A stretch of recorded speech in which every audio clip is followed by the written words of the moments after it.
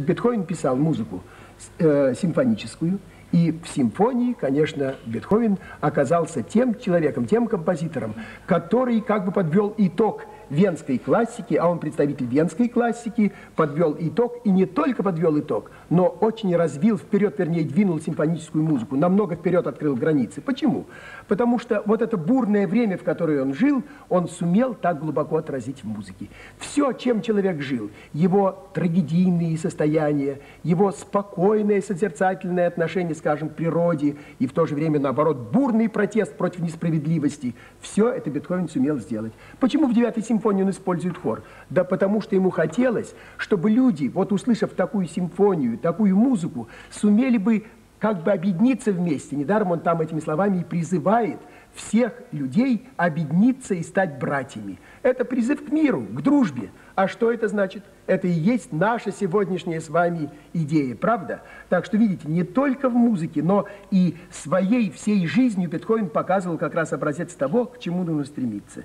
И я думаю, что и фортепианные его сочинения в том числе, вы правильно называли и хорошо знаете. Некоторые просто, может быть, иногда не, не знаете, что Бетховен это музыка, но слышали и знаете их. А сейчас давайте попробуем. Вот Ярослава как раз напомнит нам одно из произведений. Какую ты будешь сонату?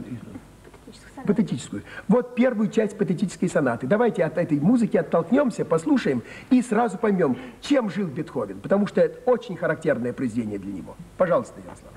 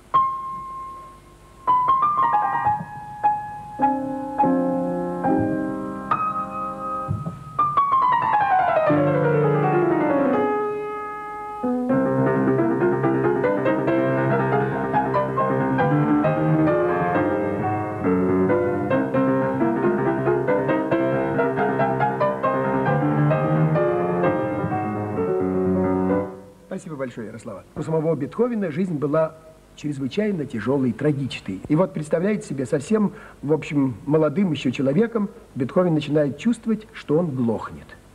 И сам Бетховен говорил об этом, что, представляете, я обладаю одним из самых тонких слухов, и вот теперь этого слуха лишаюсь. И когда, в общем, он почувствовал, что эта болезнь его неизлечима, то даже был период жизни совсем просто настолько неприятный, настолько трагичный, что Бетховен даже думал покончить жизнь самоубийством.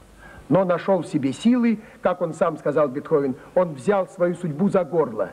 И вот это как раз позиция его жизненная, что он сумел побороть этот недуг жуткий. Представляете себе, он глох, а в конце жизни он практически не слышал ничего. Он общался с другими через тетрадь. Знаете, имел тетрадь, писал, и они отвечали ему тоже, только читал, он ничего не слышал.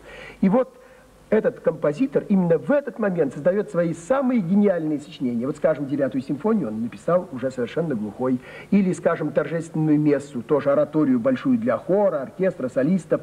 И вот также он сумел и музыке доказать, что тогда, когда человек имеет сильную волю и, самое главное, здоровое направление в жизни, он был оптимист, при этом. И он верил, что человек может и добьется наверняка в жизни успеха, если будет по-настоящему работать, трудиться и будет преодолевать невзгоды. И вот в этой патетической сонате как раз так и есть. Вы чувствуете вступление какое? Неприятное, правда, сумрачное такое, которое показывает, что что-то у человека, в общем, какие-то над ним сгустились тучи и как постепенно вот это волевой характер главной партии показывает, что человек сумел преодолеть эти невзгоды. И я думаю, что это, наверное, и есть самое главное в музыке Бетховена. Бетховен – композитор, который имеет очень твердую основу, уверенную, уверенную основу. Он верит, что человек должен победить, должен обязательно достичь успеха. И он своей музыкой и призывает к борьбе за счастье людей. Вот это, пожалуй, самое главное, правда? И мне думается, что вот даже вспоминая совсем другое, скажем, фортепианное сочинение, вот лунную сонату, кто-нибудь из вас знает хоть немножко ее, мог бы так напеть или наиграть? Да, Оля? Ну попробуй немножко. Сейчас мы все вспомним, что это такое за лунная соната.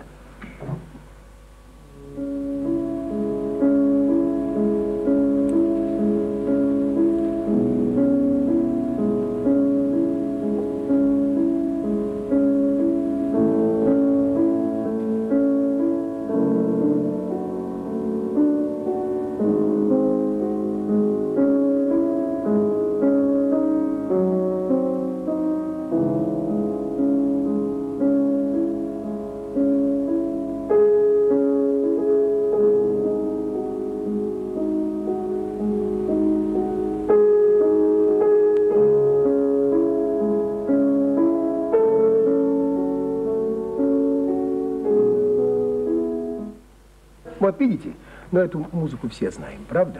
Видите, в ней как будто сейчас нет волевого начала.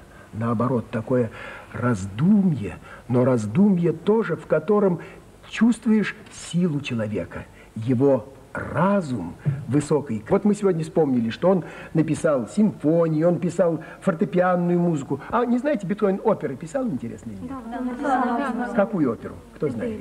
Фиделио. Вот, видите, опять показатель того, что Бетховен композитор, который стремился обязательно людей поднять на борьбу за счастье. Ведь опера – это э, Фиделио как раз героическая опера.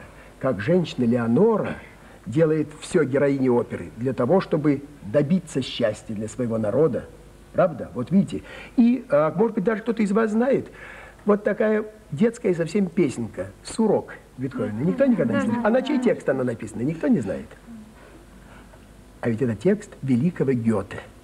Представляете себе? Вот, пожалуйста, вам. Опять очередной пример. Э, Бетховен был сыном своего времени настоящим. Он написал одну увертюру, которая называется, может быть, кто-то из вас знает? Эгмонт. Эгмонт, правильно, молодец, увертюру Эгмонт. Это ведь основой это послужило, что произведение Гёте, Эгмонт. Это опять герой.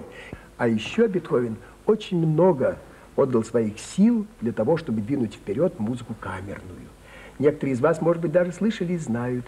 Например, Крейцерова соната есть у нее такая. Это произведение для скрипки и фортепиано.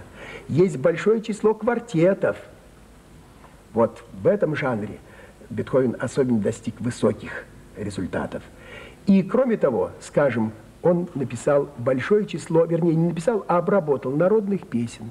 Это шотландские песни, это песни народов Европы, в том числе и русские народные песни. Вот. Видите, как, оказывается, Бетховен какой был человек. Настолько широкий его был кругозор. И стремление, самое главное, сделать музыку достоянием всех людей. Так давайте, ребята, сейчас все вместе послушаем музыку великого композитора Людвига Вана Бетховена.